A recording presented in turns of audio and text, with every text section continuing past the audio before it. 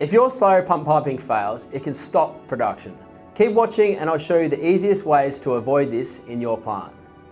First you need to understand these three wear types. Prevent them and you won't have to worry about pump piping again. Erosive wear, impact wear and leading edge wear. So what are they and how do other sites avoid them? Erosive wear is common around pumps and happens when the wear liner is worn down due to turbulent and fast moving slurry. We've got customers that have shown us rubber wear liner that's torn off and ended up downstream of the pump, blocking the piping. Pumps accelerate this type of wear because of the extra turbulence and vibration. Impact wear happens when the slurry hits the same point over and over, creating a concentrated wear spot that quickly holds out. We see impact wear a lot on the first bends in the discharge line. Leading edge wear happens when the internal diameter or ID of adjoining pipework doesn't match. Even just a few mil of ID misalignment is enough to cause a problem.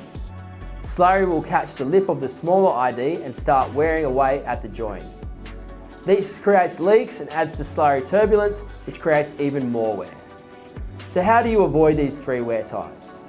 To avoid erosive wear, you need to stop using rubber lined steel around pumps and use a more wear resistant liner like polyurethane. Polyurethane lined pipe has better resistance to turbulent slurry compared to rubber lined steel and the liner is chemically bonded to the steel when it's manufactured, so it can't peel away.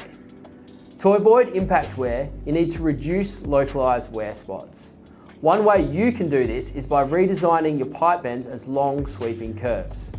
If you can't redesign your bends, then you definitely want to avoid rigid piping. Other sites we work with are using mining hose instead. Mining hose is a better option because it absorbs the impact of fast moving slurry. For spools that are getting hammered by really tough slurry, you'd be better off upgrading from standard mining hose to ceramic lined mining hose. To prevent leading edge wear, you'll want to make sure that the pipe ID matches existing pipe work.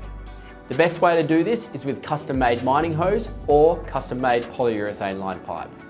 Lots of sites we work with have made this change and easily get three to six times better wear life. So there's some reasons why your slurry pump piping might be causing you headaches. To fix problem pump piping in your plant, get in touch with our team today.